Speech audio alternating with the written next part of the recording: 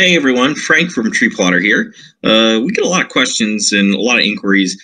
Uh, a lot of folks are writing reports, whether that's uh, for a municipality or for a homeowners association, say, hey, you know, I gotta put some trees on a map and then deliver a report to my client. So uh, just gonna create a quick video here showing you all exactly how easy it is to do that. Um, you can see I, have got this uh, homeowners association little small neighborhood pulled up right here on the map I'm going to do is um, just going to add a couple trees by map here. We'll just go ahead and add this one right here. Um, just call this one uh, an American sycamore.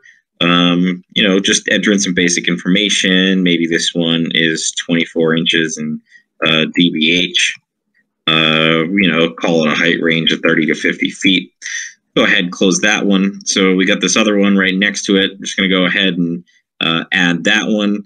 Uh, I'm going to actually load the information from the last tree here to, to save me some time. What it's going to do is copy all the information from the last tree I wrote. Might be a different species, so you know maybe this one's a red maple. Um, I can just go ahead and uh, change that, and yeah, you know maybe the DBH is slightly smaller, maybe it's 22 inches, but you know the status and the height uh, are all pretty much the same. Um, so I'm just going to go ahead and fill these out for these next few trees. Say this one's another red maple, but you know it's probably uh, a little bit smaller. Call it 18 inches in DBH. Close that, and then just do one more here.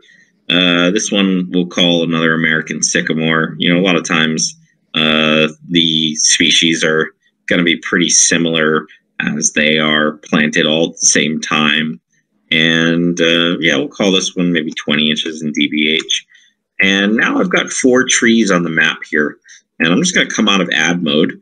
Uh, we're able to take a look at these trees. We can, you know, produce a scenario here now. Um, and what I'll do is I'm just going to come here to this map scenarios tool and I could click on this and then create a unique hyperlink so that anybody that's going to be clicking on that link is going to come straight back to this exact same uh, setup as I've created it here. just going to log in quick to be able to do that. Um, I'll show you exactly what I mean. So when we come over here, I'll click on the map scenarios tool. We'll create a map scenario. We'll just call this the HOA map. And I'll save this.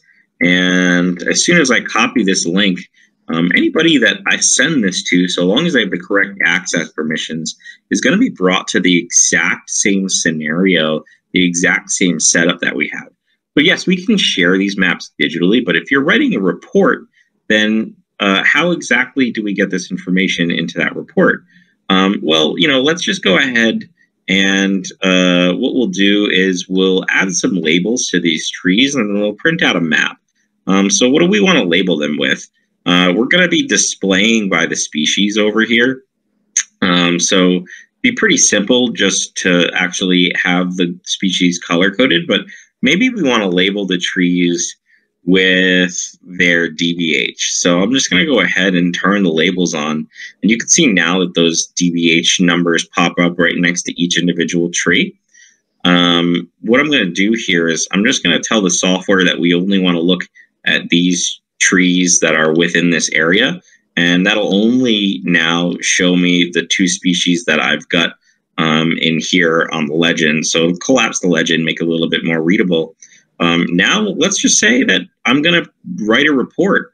And uh, this report, I'm going to include a printed map in.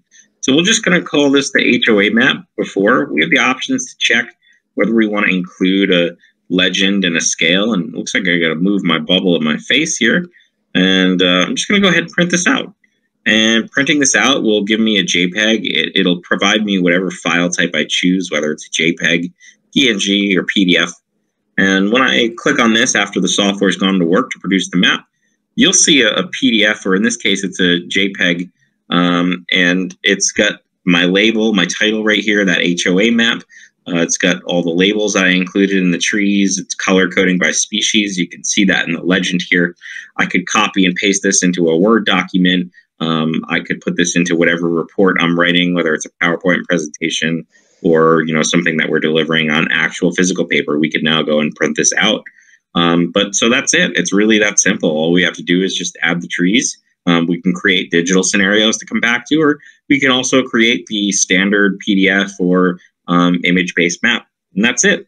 Uh, any questions? Feel free to just reach right on out to us. But uh, hopefully, this short video helped. Thanks again.